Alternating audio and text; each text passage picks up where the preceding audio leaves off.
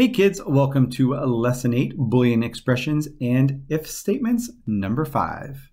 Before you do this lesson, there is a code.org video you should watch. This is Boolean Expressions and If Statements, and it covers the kind of intro to if and else statements. You try it. Recreate the simple movie age example from the video. We've provided the first line to prompt the user to enter their age.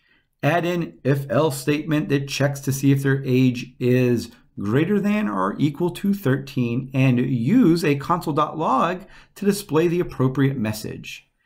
Here is the pseudo code for what you should add.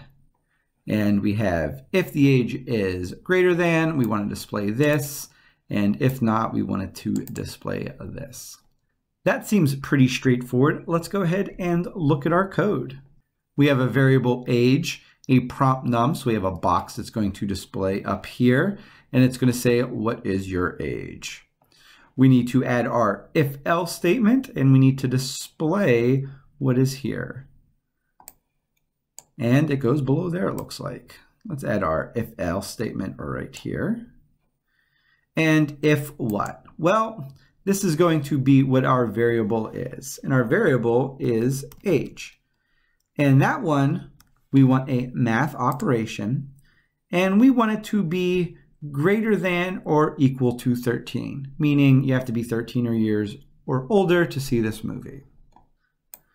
So we'll just drag that in right there.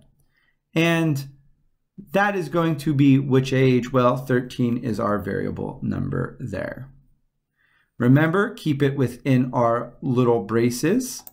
And we need to add a console.log message and the first message here should say, you can see a PG-13 movie alone.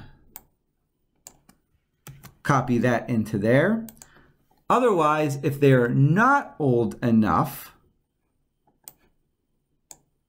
we want it to display, you're not old enough to see this movie alone. Poor you.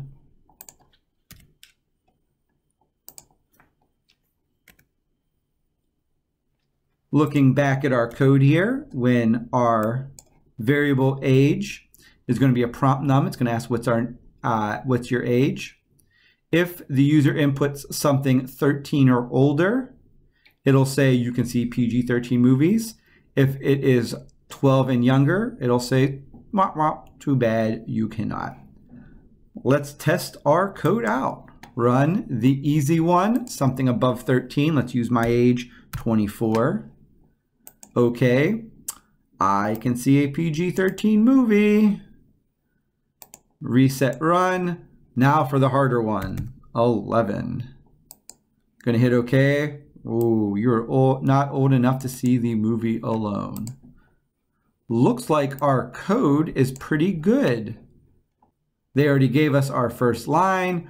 We added an if-else statement and a variable age, which is tied to 13, and two console.log statements to display the message down here. Pretty good. Let's see if code.org wants anything else. Nope. Good job, kids. I'll see you on the next lesson.